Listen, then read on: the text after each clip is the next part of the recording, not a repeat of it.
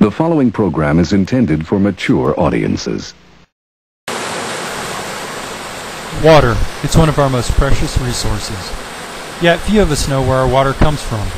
For most of us, it comes out of the tap. For many of us, it comes from a bottle.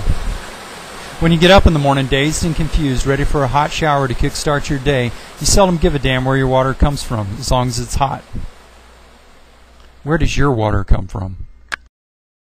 I'm Scott Walker. I'm a geographer, a professor, and a traveler, and I'm taking you on a geographic journey.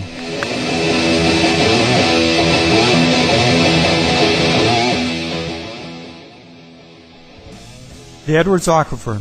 This unique groundwater system is one of the most prolific artesian aquifers in the world. It's one of the greatest natural resources on Earth, serving diverse agricultural, industrial, recreational, and domestic water needs for almost 2 million users. In recent decades, demand for water has surpassed this ancient aquifer's capacity to provide, and there are increasing concerns about the welfare of endangered species and regional economies that depend on its spring flows. Some smart and forward-thinking people have been instrumental in setting aside areas like this one to protect the aquifer's recharge zone. Trust me was one of the favorite sayings of one of these people, Inga van Nyneten, who died of breast cancer at only 30 years old. Inga helped to create this green space in San Marcos that's the beginning of water's journey to your tap. The chemical reactions involving underground water are relatively simple. Although pure water is a poor solvent, almost all underground water is laced with enough chemical impurities to make it a good solvent for the compounds that make up a few common minerals. So basically, underground water is a weak solution of carbonic acid because it contains dissolved carbon dioxide. Now, dissolution is an important weathering erosion process for all rocks, but particularly it's effective on this type of rock here, carbonate sedimentary rock or limestone. And you can see the three holes that are in this rock right here. These holes are not uh, from somebody doing something to it. These three holes are from uh, a weak acid because the rainwater falling through carbon dioxide in the atmosphere, it lands on this rock and it, it essentially dissolves the rock. This is called karst limestone. This limestone is all over central Texas. You can see in uh, this close up here, these holes in the rocks these are all surface rocks, how jagged the edges are.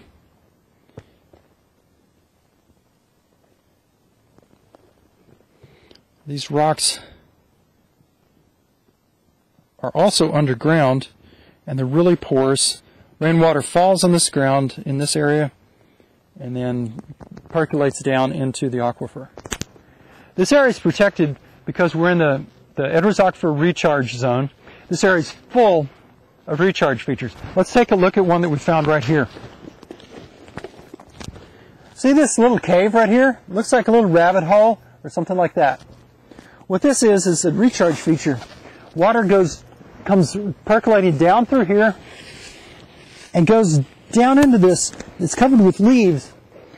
Down into the aquifer, goes down into the underground water system, percolates through that karst, goes into a larger area, and these things are all over the place out here.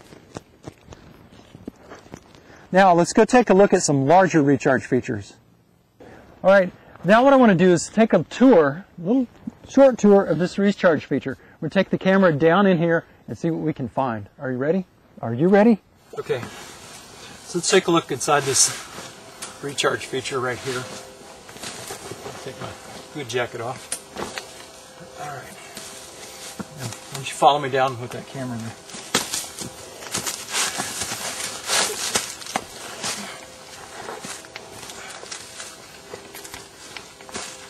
Okay, here we are now. Imagine I'm a drop of water. I would just be coming right down through here, inside this recharge feature. Get the camera steady. And you can look around. Let's hope there's nothing crazy in here. This goes back quite a ways back through here. It goes way down into here. Let me see if I can zoom in to that. It's just a big black hole. It goes down through there, goes way back up into here. I'd say maybe 20 feet, and then it just kind of gets too small where where people can't actually get into it. And take a look at the rocks up here. And you can see how they, they're kind of porous. There's a lot of cracks in the rocks. This is where the water comes down through here. Just imagine being under the ground, which is where we are. And the water comes down, fills these spaces, and then runs on down this direction.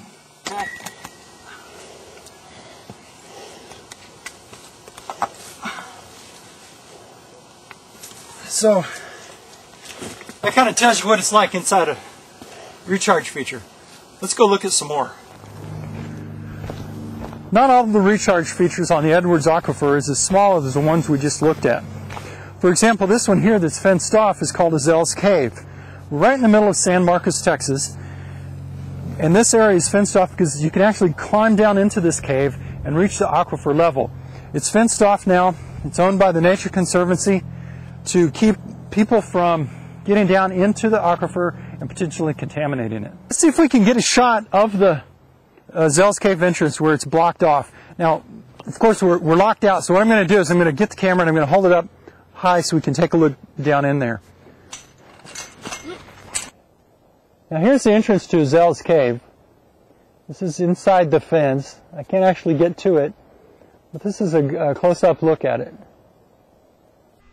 The Edwards Aquifer is just one of many aquifers in Texas.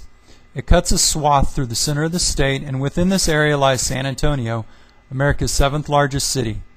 The city has a semi-arid climate, and water from the Edwards is the reason that 18th century Spanish missionaries were able to establish footholds like the city of San Marcos and San Antonio. For over two centuries, San Antonio and many other cities in the surrounding area were able to grow and prosper without developing surface water because of the clear running waters of the Edwards Aquifer.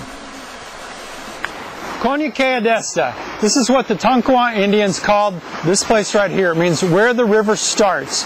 We're at Comal Springs in New Braunfels, Texas, in Landa Park, and the stream flow right here is coming right straight out of the ground behind me at 407 cubic feet per second right now.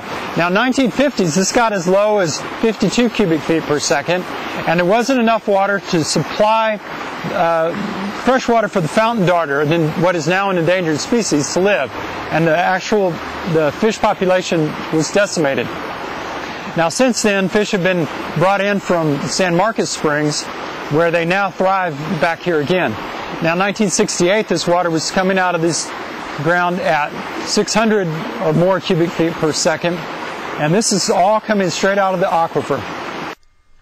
In general, the movement of groundwater in the aquifer is from areas of higher elevation in the southwest toward major discharge areas in the northeast. The flow pattern is controlled primarily by locations of barrier faults that disrupt the continuity of permeable Edwards karst limestone. The presence of many faults and fractures makes the flow patterns highly complex. Because of this complexity, the waters we pump from the ground and drink are a mixture of waters of many different ages. In some places, water moves only a few feet a day, but in other places, it may move a thousand feet a day or more. The average residence time for water in the aquifer is about 200 years. Much of the water San Antonians drink today probably went underground around the time of the American Revolution. Although there are many conduits and large caverns in the Edwards limestone, you can't picture the underground reservoir as a vast pool. Most of the water is traveling in small pore spaces within the karst limestone that are probably no larger than your finger. Water enters the aquifer easily in the recharge zone, but the subsurface drainage is generally inadequate to hold all the water that falls in large rain events. Recharge conduits like the cave I climbed into quickly become filled up with water. Edwards Aquifer is not a good storage aquifer where water can be placed and expected to stay for use tomorrow. Transmissivity is high enough that as long as enough hydraulic pressure exists to force water up to the level of springs, significant amounts of water will flow out. These flows create the San Marcos River and create the Comal River that contributes to the Guadalupe River. This entire process happens from water flowing into recharge features to it moving underground and being discharged by springs before it's ever tapped by your water utility. Know where your water comes from and appreciate it the next time you take a shower.